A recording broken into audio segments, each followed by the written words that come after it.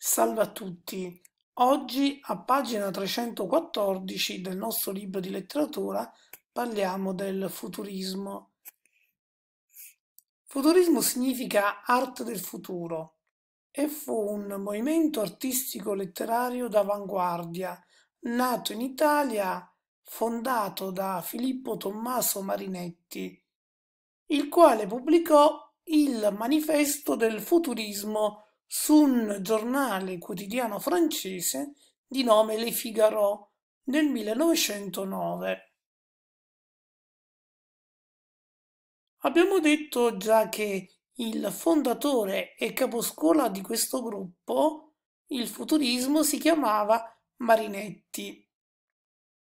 Questo gruppo è successivo al crepuscolarismo e a differenza di questo che abbiamo già studiato, sostiene la necessità di un cambiamento, cioè di un rinnovamento dell'arte, che la renda capace di esprimere in nuove forme il dinamismo della società contemporanea, con un assoluto disprezzo di tutti gli schemi tradizionali precedenti utilizzati. Il futurismo dunque proclama la rottura completa col passato. Per esempio la distruzione delle biblioteche, dei musei e delle accademie e la liberazione dell'Italia da professori, archeologi e antiquari. Come vedete un, un movimento critico, provocatorio direi io. E al passato però contrappone la moderna civiltà della macchina, possiamo dire della tecnologia in questo periodo, e anche la bellezza e l'ebbrezza della velocità, come vedremo.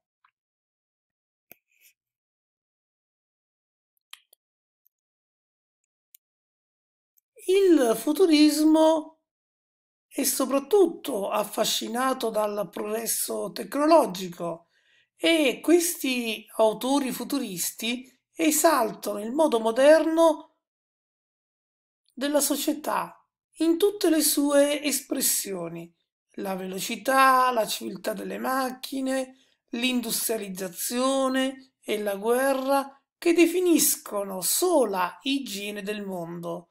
Perché? Perché spazza via la parte debole dell'umanità e seleziona i forti da destinare ha un'esistenza sempre più dinamica e aggressiva. Insomma, come potete vedere, io lo definisco un movimento critico, sicuramente innovatore per un certo punto di vista. Naturalmente, insomma, il fatto di considerare la, la guerra come unica pulizia, igiene del mondo è un po' una provocazione molto grande. Sul piano espressivo questo movimento influisce in tante arti, non solo la letteratura, ma anche il teatro, la pittura, la scultura, l'architettura e la musica. Tant'è vero che lo potete collegare facilmente per questi motivi in alcuni percorsi d'esame che porterete. Sul piano espressivo i futuristi danno vita a nuove forme di scrittura, aboliscono la sintassi, gli aggettivi, gli avverbi e la punteggiatura, mentre i verbi sono usati solo all'infinito. Esaltano la violenza, la violenza della guerra e del nazionalismo.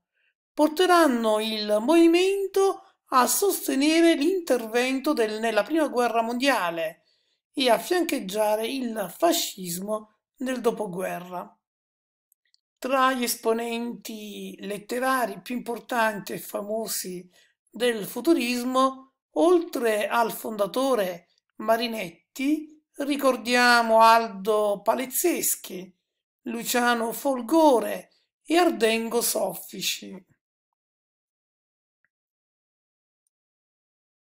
Abbiamo già detto prima, insomma, che i futuristi fecero un impiego di tali idee per tutti gli usi, soprattutto in funzione antipassatista, cioè contro il passato, e antiborghese.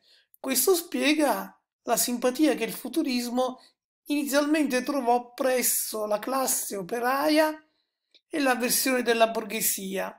In Italia invece il futurismo andò sempre più orientandosi verso destra, in senso nazionalista, come abbiamo visto, e dunque interventista, fino a sfociare dopo la guerra nel fascismo e a diventare l'arte ufficiale del regime. Ecco, questo è un altro collegamento che potete fare nei vostri percorsi d'esame.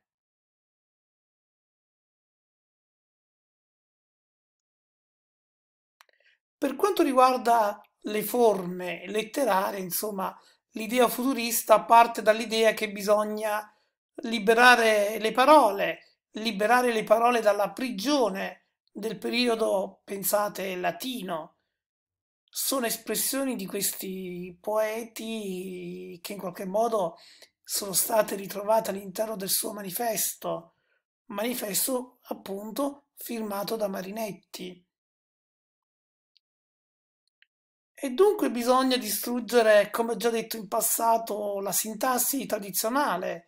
Il verbo, lo ripeto, viene utilizzato all'infinito. Viene abolito l'aggettivo, l'avverbio, la punteggiatura che rallentano il discorso. E anche bisogna abolire la metrica. Invece bisogna utilizzare, secondo i futuristi, l'analogia al posto della metafora, in grado di collegare cose apparentemente lontane diverse e ostili fra loro, ma ravvicinate dall'intuizione, e la poesia deve cantare l'amore del popolo, il coraggio, l'audacia, la ribellione, la, la macchina, la velocità, la città, le industrie, secondo il gergo nazionalista.